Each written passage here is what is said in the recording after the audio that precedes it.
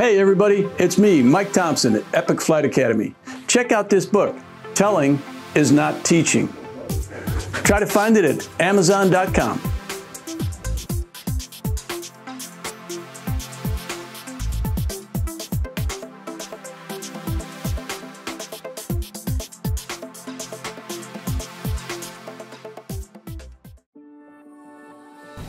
Now, let's continue our discussion of aerodynamics, talking about the force of weight.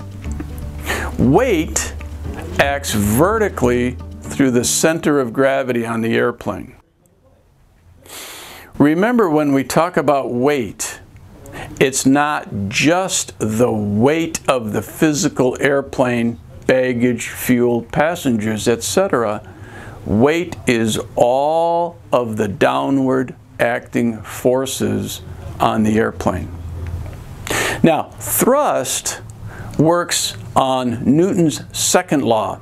Remember Newton's second law, force is equal to the change in momentum per change in time. In other words, force equals mass times acceleration. So when we talk about thrusting force, it's mass times acceleration. It also works in conjunction with Newton's third law. Newton's third law says for every action there is an equal and opposite reaction. The fourth and final force that we want to talk about is the drag force, working opposite thrust, dragging the aircraft back. When we talk about drag, we think of it in two types. There's parasite drag and there's induced drag. Let's take them one at a time. Parasite drag. Parasite drag has three types. The first is form drag. Form drag is a turbulent weight caused by a wake caused by separation of airflow from the surface of, an, of, of a structure. All right, let's simplify that. Think of things like the antenna mounted to the airplane. Um, th these cause form drag. The second one is interference drag. Interference drag is when currents of air flowing over the airplane is interrupted where two parts of the aircraft meet. A good example of that, where the wing root meets the fuselage.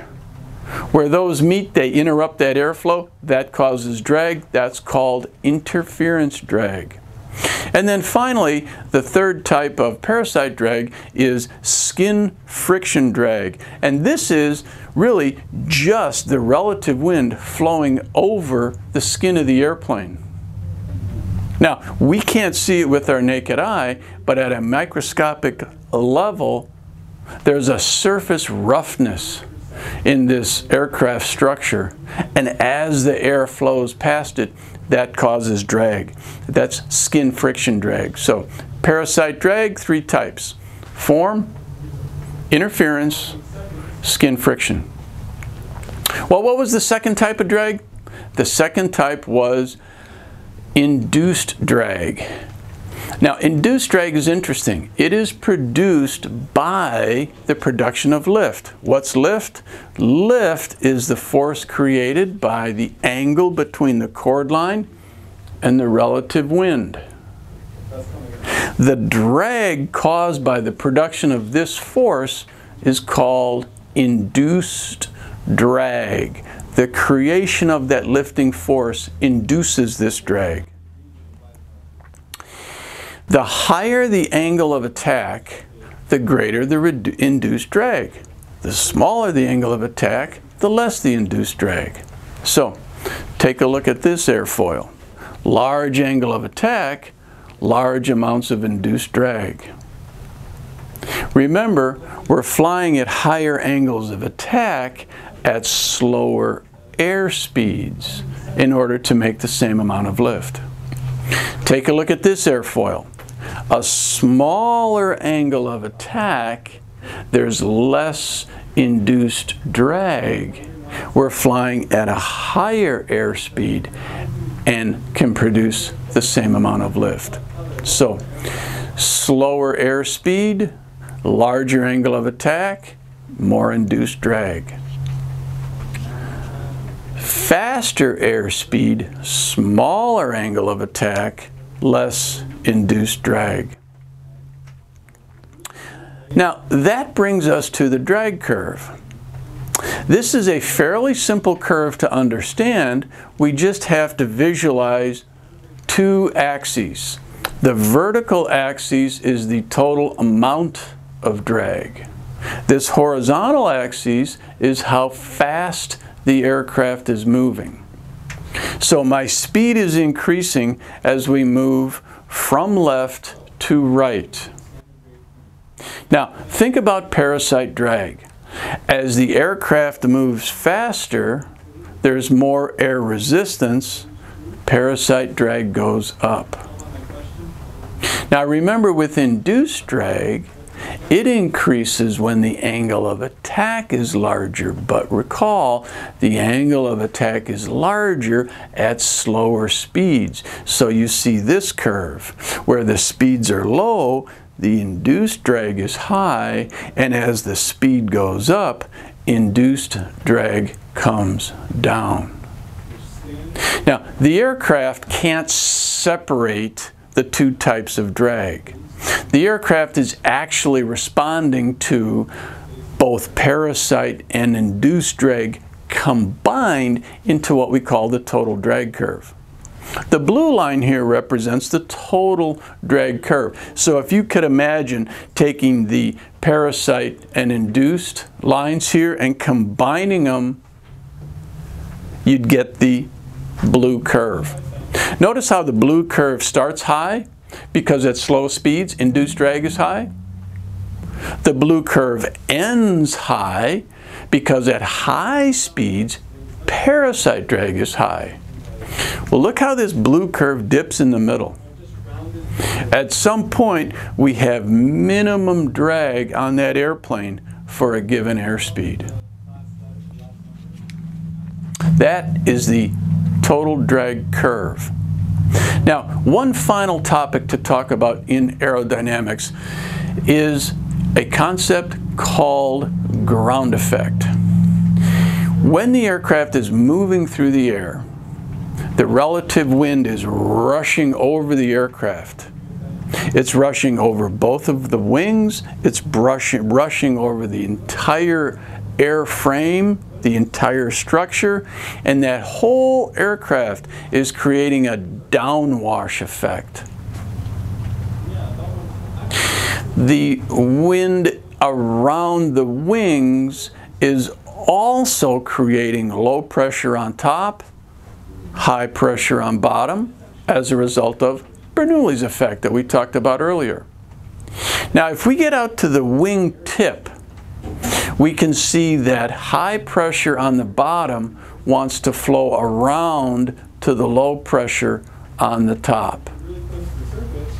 Now, keep those two things in mind. The downwash created by the entire aircraft itself and the wind around the wingtips wanting to flow from high pressure to low pressure. When we bring that aircraft down close to the surface, any hard surface, like, oh, how about a runway?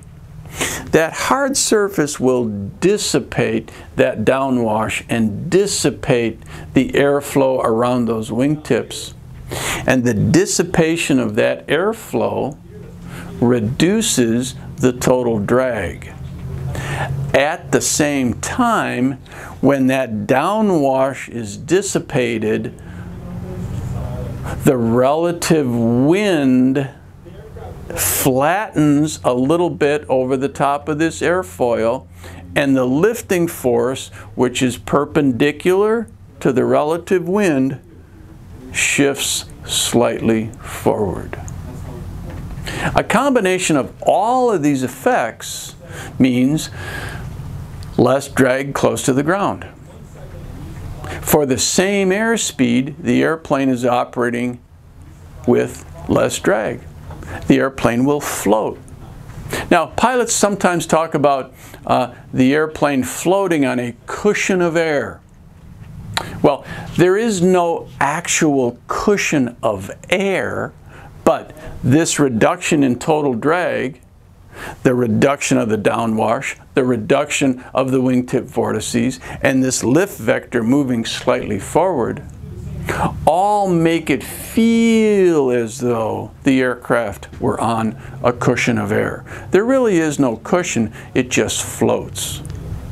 Now, we cannot escape ground effect, so ground effect is something we take into consideration when we land the aircraft. Your flight instructor will work with you on this. So here's a, uh, here's a couple of review questions for the aerodynamics portion of this course. Uh, how would you define the force of weight? What are the two types of drag? What are a couple of factors that come into play when we talk about ground effect? Well, ladies and gentlemen, that wraps up aerodynamics. We'll see you for the next lesson.